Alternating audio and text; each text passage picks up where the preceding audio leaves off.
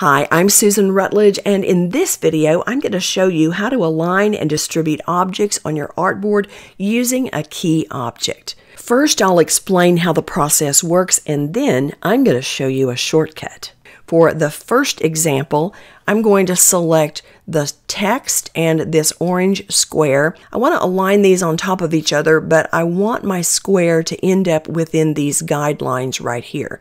So I'm going to come over to the Properties panel and I'll click on Horizontal Align Center and Illustrator does center the text over my square, but it's moved it all the way to the center of the artboard. And that's not what I want, so I'm going to undo that move, keyboard shortcut Command Z. Let's move over to the Properties panel and find out why that happened. When I click on this little pull down menu, I realize I had Align to Artboard selected. So when the objects were centered, they not only were centered on each other, but they were centered on the artboard. That wasn't what I wanted. I wanted to align them to each other. So if I choose Align to Selection and I click on Horizontal Align Center again, they are aligned one with the other. They didn't move to the center of the artboard, but they didn't stay within the guidelines either. And this is what happened to me for so many years. I'd have to then come back and move the objects where I wanted them on the artboard. But you don't have to do it this way, and I'm so excited to show you how Illustrator has set up key objects, and then I'm going to show you that shortcut. I'm going to undo that move, keyboard shortcut Command Z, and Command Z again, and I'll come over here and I'm going to choose Align to Key Object. Now when I choose Align to Key Object, I notice that the text is now highlighted in the same color as the bounding box.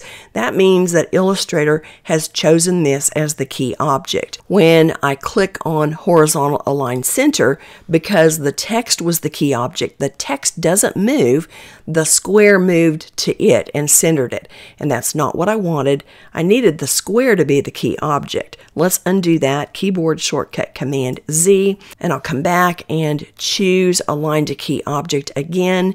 And once again, my text has been chosen as the key object. Let me show you why that is. I'll come to the Layers panel, and the square is at the bottom of the list in the Layers panel, which means it's on the back layer on the artboard, and my text is just above it. Illustrator considers all of the objects that are selected and chooses the one that's the highest in that grouping on the list to be the key object.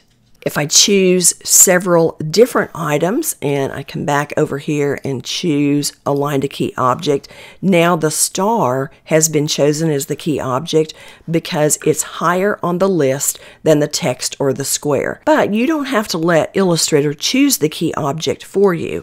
Let's come back to the properties panel, choose the text and the square, and then we'll change this to align to key object. All I have to do is click on the square, now you can see that I have a bolder line around my square and the text is once again black. That means that this is the key object. So finally, when I click on horizontal align center, my square stays in the same place and the text is centered over it.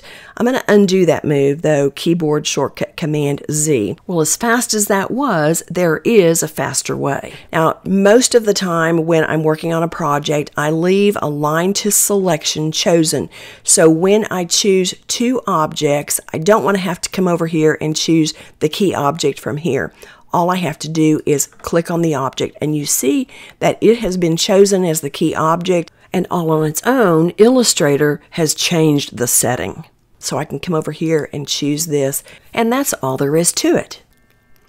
Let me give you another example. I'll get the ellipse tool, keyboard shortcut L, and drag out three objects on the artboard. Then I'll get the selection tool, keyboard shortcut V, and select all three of the objects. Now align to selection is chosen and I'm not going to change that. All I have to do is click on an object and Illustrator allows me to choose that as my key object. Then I come over and I click on the vertical align center icon and all three of my objects are aligned aligned to my key object. And that is the shortcut for selecting key objects. Now let's delete these. So the only time you really need to change this setting is when you're trying to align something to your artboard itself. All right, now let's talk about when we distribute items. I'm going to move this star right against the guide here. Then I'll select all of these stars. I want them to be aligned to this orange star. I'll click on it and that makes it my key object. And then click on vertical align center. And now we're ready to talk about how we distribute these objects. Now, if I just wanted them to be distributed evenly, I would uncheck this as a key object and come over to this align area and click on the ellipsis and I can choose horizontal distribute center. And when I do, Illustrator evenly distributes my stars and it uses the left star and the right star as boundaries.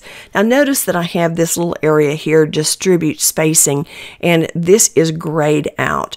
Well, let me show you how this works, but you have to again use a key object. So I'll select my star as the key object and then I'll come back, click on the ellipsis, and now I can actually change distribute spacing.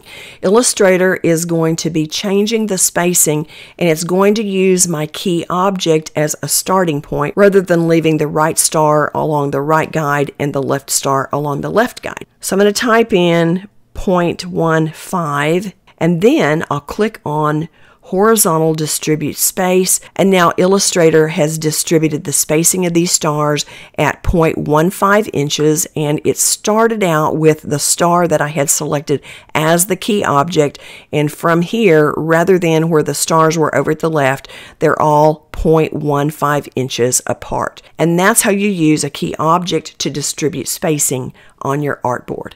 I hope you've enjoyed this video and that you've learned something new about aligning and distributing objects.